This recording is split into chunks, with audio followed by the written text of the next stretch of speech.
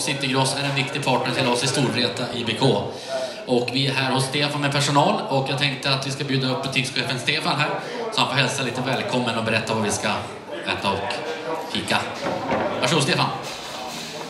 Tack så mycket. Då ska vi ta och börja och käka lite god tårta då. Men jag tänkte så här att för alla er som är här så kan vi väl börja med att eh, Ja, inte vet jag om man utbringar ett fyrfaldigt leve eller om vi ger en applåd, men vi måste på något sätt uppmärksamma eh, det här fantastiska guldet som eh, Storvreta har tagit i år.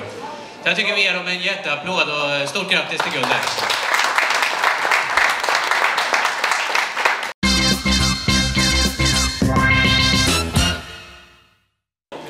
Ja Mattias, eh, värmen har kommit, det börjar bli sommar ute. Eh, men eh, 21 april är inte jättelångt bort, eh, det var då vi bärgade guldet. Hur har den här tiden eh, för din egen del varit efter guldet? Ja, men det har varit glad... Ska hålla? Det har varit ganska glada dagar. Eh, Som, eh, tyvärr så åkte vi iväg på landslagsläger precis, precis eh, några dagar efter, efter guldet bärgades. Så vi drog iväg med landslaget på onsdag. Så onsdag kväll satt jag och kollade på film med eh, Galante och Emil Johansson på mitt hotellrum. Det var fyra dagar efter, efter vi spelade final. Så att det har gått fort. Sen så efter det så har man varit det sjunker in lite, den här första glädjen i euforin försvinner efter några vecka och sen så börjar man inse lite vad man har, vad man har gjort och sådär. Så att eh, då mår man ganska bra. Man lägger ner lite tid sådär så att det är skönt att, skönt att få njuta lite. Om vi ska ta oss tillbaka till den här, då, den här eftermiddagen, 21 april i Globen, eh, så måste det vara en ganska skön final att spela kan jag tycka. Eh, ni har ett ganska bra tryck på dem och ni, ni äger stora delar av matchen. Eh, ni måste ha känt det också under, under spelets gång. Ja, men jag kände att vi var bättre. Om man tittar man på matchen i efterhand så tycker jag att vi vinner typ i, alla, i stort sett alla delar som finns. Vi vinner taktiskt, vi vinner fysiskt, vi vinner...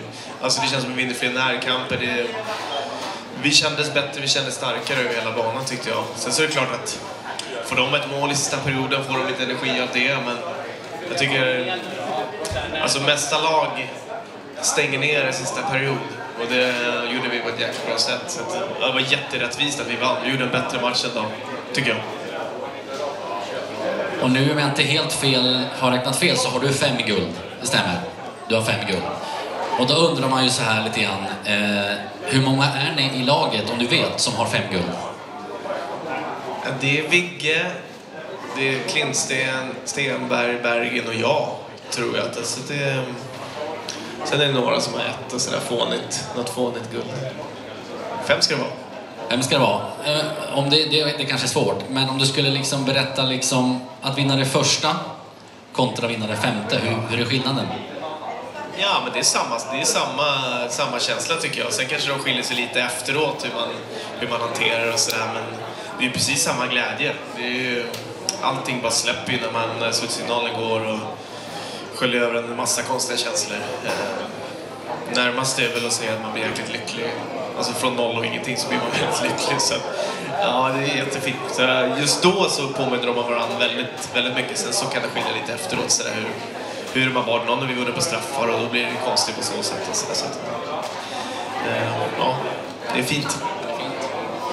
Och då undrar man ju, som jag sa från början, sommaren är här, det är varmt ute, eh, härligt väder. Eh, hur mycket innebandy är det just nu i, i Mattias liv? Nej, det är ganska... Ja, men det finns... Neo spelar innebandy hemma i vardagsrummet, så lite innebandy blir det. Men sen så försöker man ju koppla bort och det tror jag är viktigt. Nu börjar vi träna igen om någon vecka här och det är klart att vi inte är mentalt redo att släppa förra säsongen. Alltså det är ju på tok för tidigt, men då ska vi ju börja träna hårt igen i alla fall och sen så får man ta det mentala får man ta sen, eh, när man går med efter sommaren sen så att, eh, Men vi ska börja träna hårt alldeles strax. Det ska bli kul också.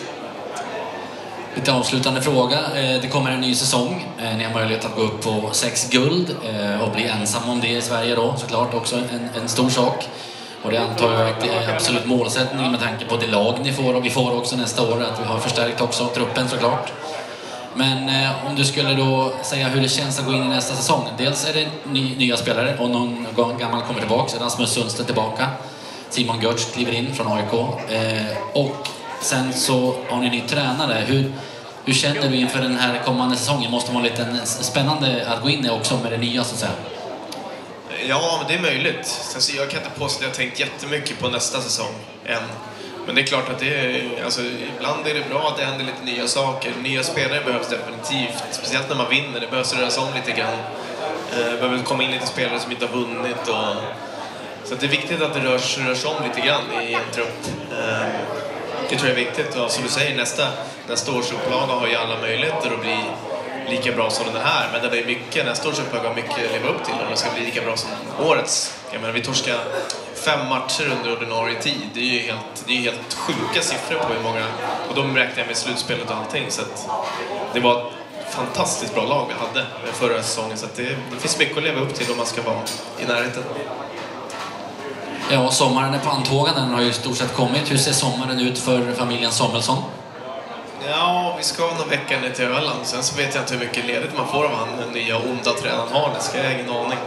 Eh, Men vi ska väl, vi ska väl träna lite. Förhoppningsvis så blir juli fin. Jag ska ner till Öland som sagt med familjen en vecka och sen så finns mycket att göra på tomten. Nybyggt hus och allt. Så att, ja, det blir mycket meck. Jag vill önska dig personligen också en riktigt trevlig sommar, Mattias. Tack detsamma. Mattias Samuelsson, han är vår lagkapten. Härligt.